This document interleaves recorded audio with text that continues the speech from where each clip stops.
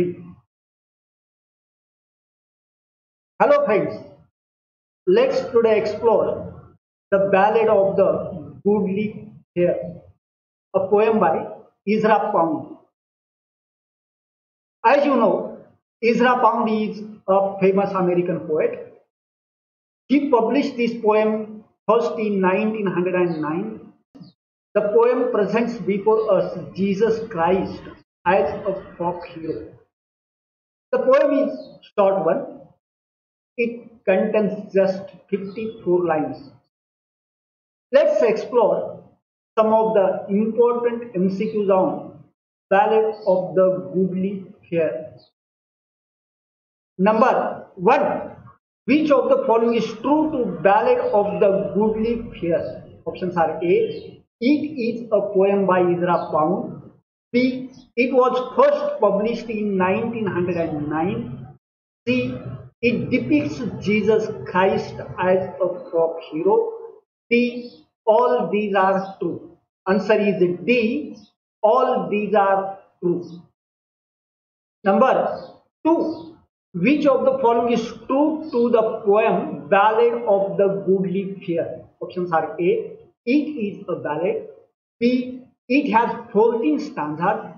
C. It uses the old form of language for expression. D. All these are true. Answer is D. All these are true. Number 3. Which of the following is true to goodly fere? Options are A. He was the lover of the brownie man. B. He was a man of men. C. He was lover of the open sea. D. All these are true. Answer is D. All these are true. Number 4. Which of the following miracle has been done by goodly fere? Options are A. He has healed the lame. B. He has healed the blind. C. He has awakened the dead. D. All these. Answer is D. All these. Number 5. With which of the following epithet does the poet narrator hail goodly fere? Options are A. A son of God. B. A master of man. C. The mate of the wind and the sea. D. With all these. Answer is D. With all these. Number 6. Which of the following was the reaction of goodly fere when they came with force to take him away? Options are A. He laughed scornfully at them. B. He became quite upset. C. He refused to go with them. D. None of these. Answer is A. He laughed scornfully at them. Number 7. Which of the following is true to goodly fere? Options are A. He was no capon fish. B. He was no mouse of the scrolls. C. He was a man of men. D. All these are true. Answer is D. All these are true. Number 8. As the poet narrator tells us, he had seen goodly fere cow a thousand men on dash dash options are A, the bank of the river, B, on the pasture, C, in the forest, D, on the hills of Galilee. Answer is D, on the hills of Galilee. Number 9.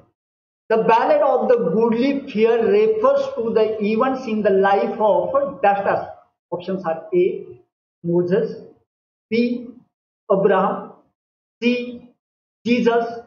D. Adam. Answer is C. Jesus. Number 10. Which of the following was the last lesson taught by goodly fere? Options are A. How to live. B. How to follow. C. How to face the authority. D. How to die. Answer is D. How to die. Number 11. The speaker claims that they are dastas if they think they have killed goodly fere. Options are A. Extremely wise. B. Eternal fools. C. Slyly politic. D. Slipshod. Answer is B. Eternal fools. Number 12. Goodly Fere was a lover of Brownie man. Dash dash. Options are A. On the sea and the sea. B. In the palace. C. In the huts. D. In the field. Answer is A. On the sea and the sea. Number 13. How many lines are there in the last stanza of the poem Ballad of the Goodly Fere? Options are A. 5. B. 4. C. 3. D. 2. Answer is D. 2. Number 14. Pick out from the following the opening line of Ballad of the Goodly Fere. Options are A. Have we lost the goodliest fere of all? B. A son of God was the goodly fere.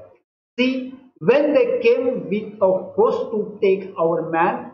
B none of these answer is A have we lost the goodliest fere of all number 15 how many lines are there in the poem ballad of the goodly fere option are A 44 four B forty C 52 D 54 answer is D 54 number sixteen Which of the following is true to Ezra Pound? Options are A.